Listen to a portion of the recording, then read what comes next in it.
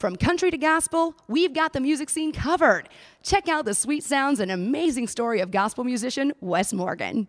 I am standing here with Wess Morgan. You describe yourself as a gospel singer, right?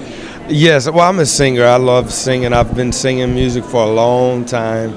Um, but gospel is my so- is that's my music.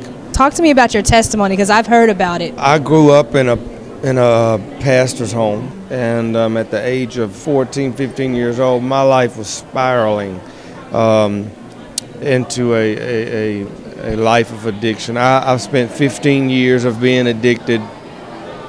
I'm celebrating seven years this month of being clean. Congratulations. Thank you. And I, I'm just excited. You know, I, I never anticipated, um, you know, I had thoughts of it, but I never really anticipated the type of success that we're having right now. So is that where a lot of your music inspiration comes from? Is it from your background or your musical background or where does it come from? A lot of my inspiration comes from my mom and my pops.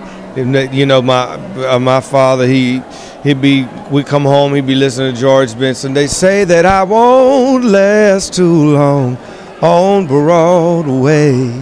And then you know, my mother, she'd been there playing Reverend James Cleveland. I don't feel no ways tied low. So you know, it's it, That's beautiful. I, I had no choice. You know, it was just I was kind of crunched into that thing, and my mother and father really, really trained me well and inspired me. I love doing what I do. I love music. What's next for you? Well, we do have um, my new single, "You Gave Me Hope," that is at radio right now.